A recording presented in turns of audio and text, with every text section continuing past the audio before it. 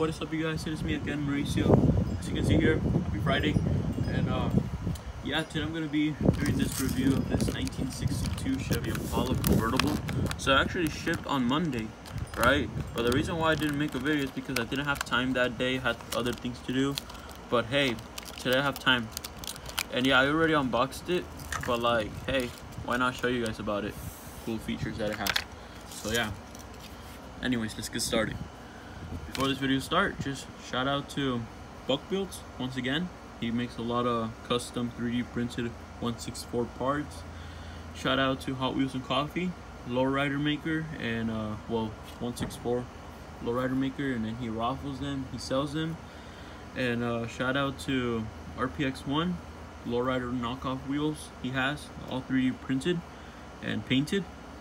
Shout out to it's JDM drifter he collects old Hot Wheels, restores them, and he sells them, and he buys new ones, and then he just makes reviews about it.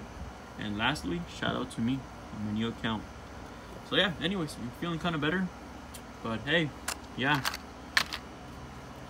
Anyways, let's get started. So, 1962 Chevy Impala, as you can see here, SS convertible. What a nice wallpaper. True 164. 1962 Chevy Impala SS 409 convertible. As you can see here, Auto World. That's how it looks like on the back. Very nice. We don't need this no more. Anyways, here's the car. As you can see here, red interior, nice original wheels it has. This is all metal. Mufflers it has and uh, has like a label right here in the muffler. It says like, it says that made in China or something like that. Auto World. But yeah, it has like a little hair here.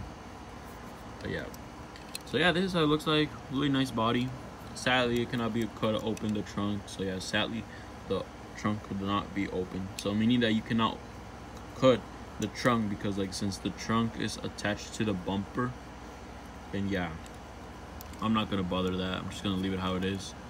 Really nice 62 and uh, as you can see here this little frame thing kind of looks like a lowrider but sadly it's not.